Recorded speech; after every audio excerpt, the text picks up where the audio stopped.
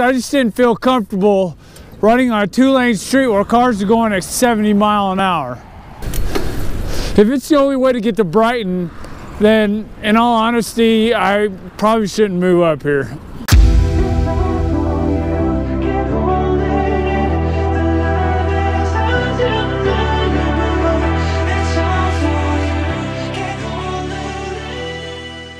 It's a beautiful day out today, guys.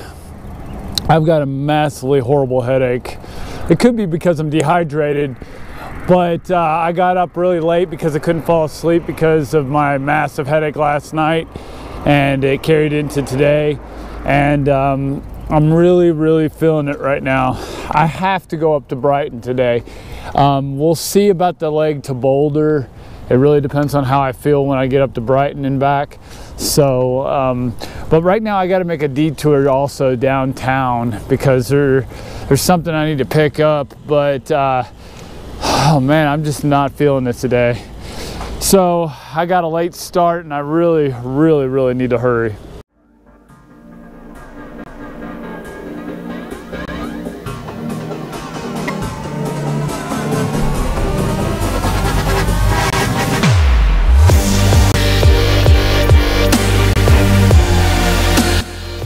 You see, this is what I'm talking about, guys. Like right there, you know, you got all this glass just like strewn out pretty much everywhere.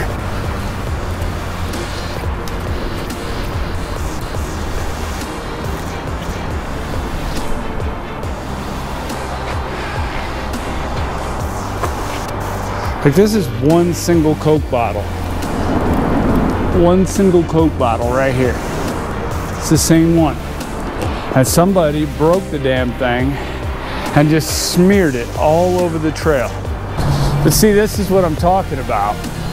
On this bike, I have really strong tires, which I might have to end up getting for all my bikes because of dickheadedry like that.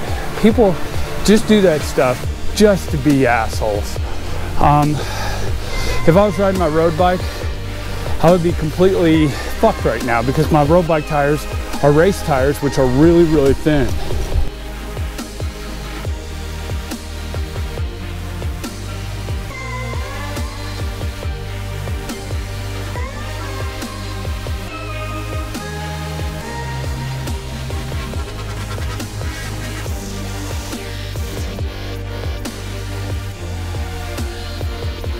I'm not sure what the guys in the river are always doing. It looks like they're panhandling for gold. Maybe they are. I thought they were fishing at first, or maybe like setting traps or something down. Looks like they're panhandling.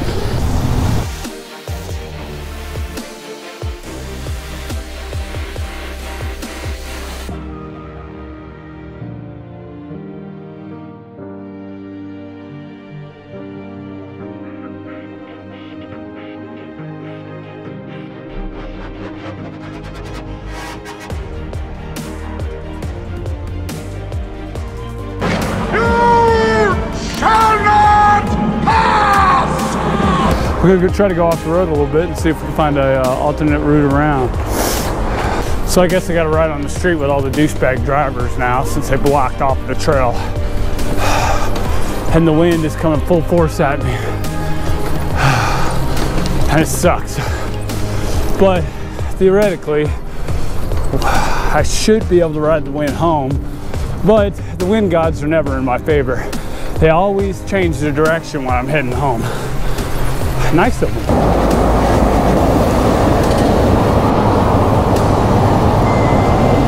That's what I hate about riding on the road. It's too goddamn busy. And downhill we go.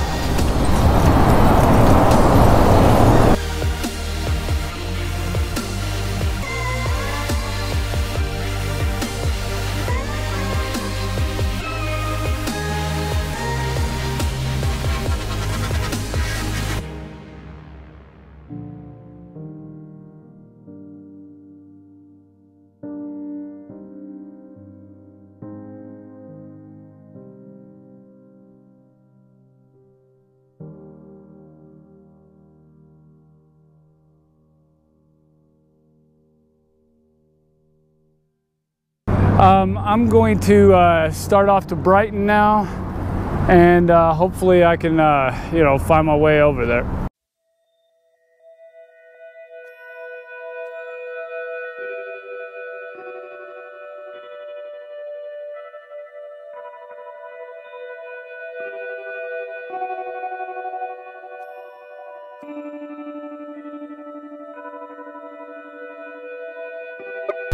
Seems like it's a, a very windy day, and then on top of that, it's uh, on top of that, uh, my head has just been killing me all day. I have not had a break from this headache at all. This is why I don't like having a cord. It always seems to get tangled up and come undone. Quite aggravating. Uh, See, I don't know about this, guys. I really don't. Um, this is like a gravel road, and uh, that wind is kicking. I tell you, it's everything I can do to push against that son of a bitchin' wind.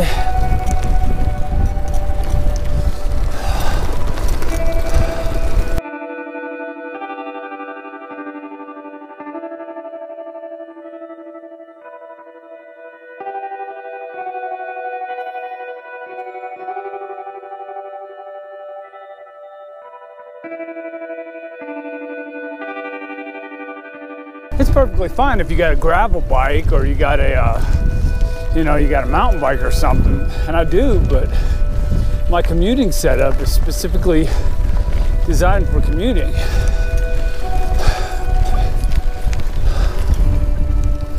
So I don't know how this is going to work out yet. All I know is I'm getting cold because of that wind. It is getting really cold.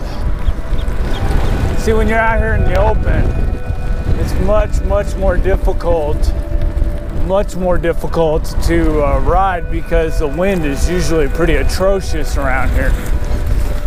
When you're down in the city or whatever, there's so much stuff to block the wind. So you're usually all right.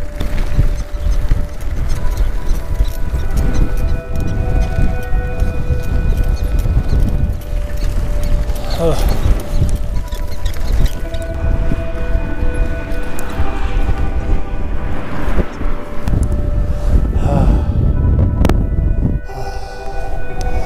I don't know if you can see off in the distance, that's the city.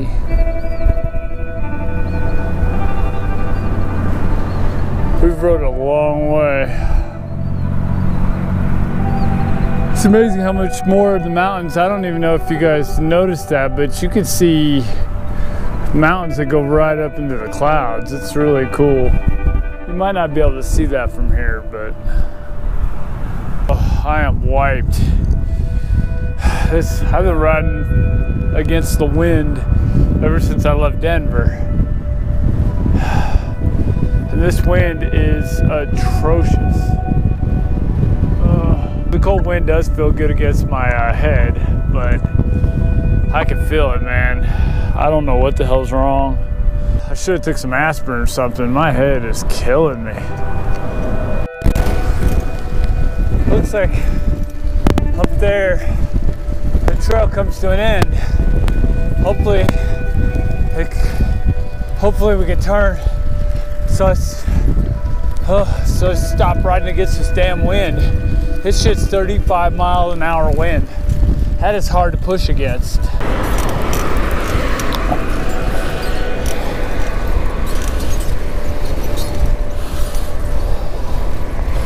Here on the east end of town, lots of development going on. It's slow going, man, because this wind is killer. It's about the hardest wind I've rode through. It's almost gale force. These bike trails just totally end. And it's on the highway with the regular cars.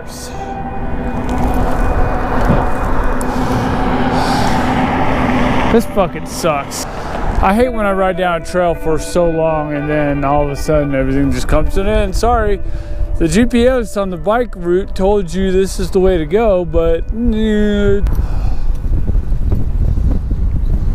about time.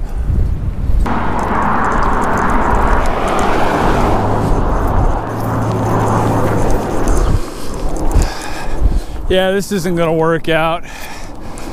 I mean, this place is just too hard to get to by bicycle. Riding on the road with a lot of these idiots is just, I mean, these people are going pretty fast. I mean, there, there's just no way. I mean, I can't ride a road like this. You know, you're gonna get hit.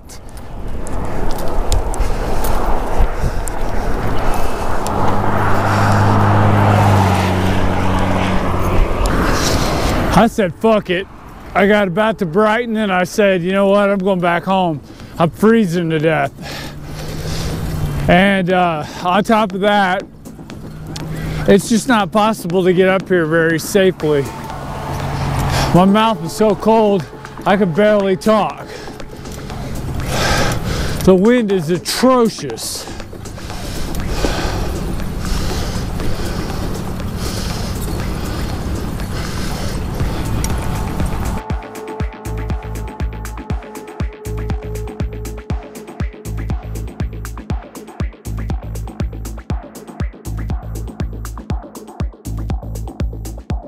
Yeah, I'm sorry, but it's just way too cold. I got such a late start, it was not even really feasible to go over to Boulder at all. But with the wind, it took me forever to get to Brighton. And uh, I made it probably about a mile outside of town, maybe two miles outside of town.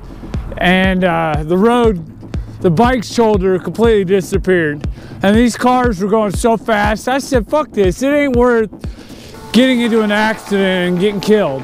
Because those people, they won't move over for you. They were going so fast. I just didn't feel comfortable running on a two lane street where cars are going at 70 mile an hour. Like this little bike lane right here is fine. This is fine. If they had something like this all the way up there, that would be nice. I mean, there are too many people in the world that don't pay attention to what they're doing. There are too many people in the world that, you know, hate cyclists being on the road. It just isn't worth dying for. I got too much shit to do this summer to get killed by some idiot not paying attention, messing with some CDs in his seat and runs off the shoulder a little bit and kills me. I like being a good distance away from traffic, like here. Anyway, I'm heading back to Denver right now, and I'm gonna get something to eat, and then I'm going to head home and. Uh... Hi, everybody. I made it back home. I didn't vlog much on the way back just because it was, I mean, the temperature dropped and it got really cold really fast. And with the way the wind was, it was really, really unpleasant. But like I said, no bike trails on two lane roads with cars. It's just not. Uh, I mean, I could do it, but you're basically hoping people are paying attention. You know, I've done this. I've, I've rode on two lanes before. You know, you, sometimes you just, in order to get to where you're going, you have to. Um, and that's fine. But you got to pray that people are paying attention. And that's the whole point. Um, would I want to do that every single day? No, I don't want to go home every single day or ride to work every single day and then kind of just in the back of my mind hope that people are paying attention and uh, this isn't the day that I'm going to get rear-ended and killed. So anyway, um, today was a bust. I did the best I could and unfortunately it just didn't work out too well. Anyway, I am super wiped, so I'm going to bed. I'm tired and I don't feel so good either, and my head hurts. And I do appreciate you guys coming along and watching me suffer against that wind. It was uh, it was an experience. So I'm gonna go to bed. I will talk to you guys tomorrow. So bye bye.